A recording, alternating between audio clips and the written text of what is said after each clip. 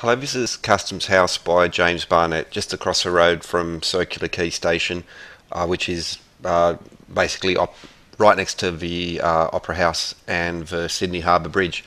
And in this video I'm just going to go through some of the sites uh, around Sydney and the use of the swastika or the fylfot pre-World War II and that the point of this is that it's um, quite an important and, and, in fact a very ancient symbol but uh, up until till World War II, it was a very uh, common symbol to see, and uh, traces of it can still be found well across uh, Sydney, and especially in the uh, some of the more important um, uh, architectural sites. Now, for instance, Customs House, uh, sea trade would have been very important. the building. Now, it's even got this little plaque here, the Fylfot, um, explaining the various meanings. Um, or some of the uh, meanings to it. Uh, basically, in in Sanskrit, uh, swastika means well-being, or, or, like it's a good luck symbol. But Macquarie Lighthouse, also by James Barnett, it was reconstructed from an earlier uh, lighthouse by um, Francis Greenway.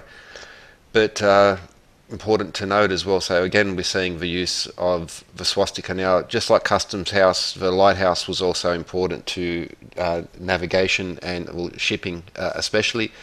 And some of the suggested origins of this uh, very much connected to well, yeah, uh, navigation, especially to movement of the sun and movement of the stars. My personal um, favorite is that it represents the Big Dipper as it moves around the pole star. Uh, now, in the ancient world, it was uh, in the northern hemisphere. It was everywhere, uh, all through time, all across the cultures. It's been uh, transplanted to the southern hemisphere, where the pole star is not such of an issue. Uh, just next to the Macquarie Lighthouse, we have the um, South Head General Cemetery. So much symbolism there, but I just want to focus on this one particular stone. And as we can see here as well, it the geometry again is with this uh, focus of the swastika at the center. Uh, hundreds of, of like ancient sites across the world, but this is just uh, focusing on Sydney. So we have Martin Place in Sydney. There's two Commonwealth Bank buildings. Commonwealth Bank no longer op- occupies them, but the one on Martin Place in the corner of uh, Pitt Street. Uh, externally, the swastikas are, um, are dominant symbol and especially above the entrance ways as well. Now this is only one of two Commonwealth uh, bank buildings in Macquarie Place and we'll have a look at the other one but just some still shots where you can see so we've uh, uh, clothing retailers a few other shops have set up so that's the COS there but uh, again above the door and as with these things, it's always interesting how on a certain set of numbers, these types of buildings loaded with this symbolism tend to be, yeah, on um, very luckily on harmonic numbers. But now this is the second of the Commonwealth Bank buildings in Martin Place. This is between Castlereagh Street and uh, Elizabeth Street.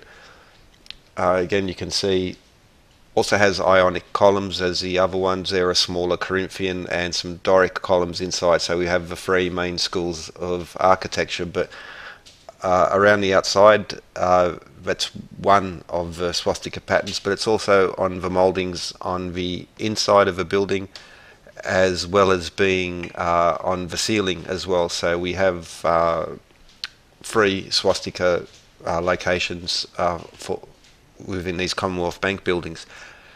The on George Street, Sydney, just a short distance down from Town Hall, St Andrew's Cathedral, Queen Victoria Building, uh, we have the Dymocks Building, and so if you go up and to the sixth floor, uh, so you know um, you won't see them on the ground floor yet. Only on the sixth floor do these appear, and again it's uh, uh, quite a few of them. And again, these buildings all predate uh, World War II and the Nazis and Hitler, so it's a bit of a shame that this it's been connected to this one particular period when it's in fact a very important uh, universal symbol going back through the ages.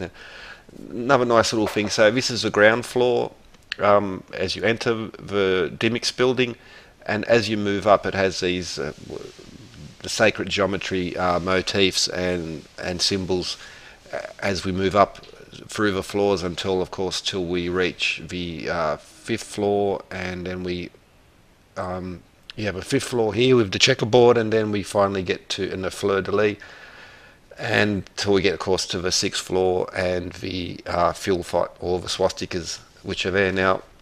The Hermes uh, store chain is one of those exclusive sort of fancy shops, uh, all the major cities. Uh, this design does not predate World War II. The Hermes, each of the Hermes stores install this store. This is part of their uh, corporate branding, um, marketing, and again, and it's especially important because they're one of the few companies which can get away with using this symbol and not be uh, attacked. Now, short distance from my house down in Green Valley, we have this uh, Buddhist, uh, sorry, Hindu shrine in the front of someone's yard and uh, the before and after now because people misinterpreted that uh, the the fylfot, the swastika, they've changed it and removed it. But this is how it was until uh, a few months ago.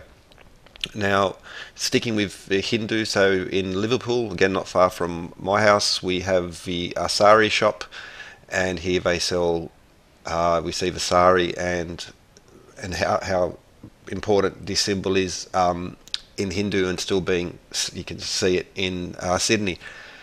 Uh, also, not too far away from me is Wetherill Park, where they have uh, one of the larger Buddhist temples in the area. Of, uh, and again, we have multiple references. So, uh, ancient Buddhist statues, you'll see the swastika on his chest, very, very common.